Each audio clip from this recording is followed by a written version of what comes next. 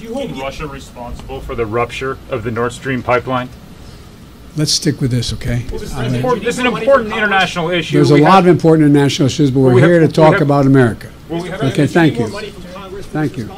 Mr. President?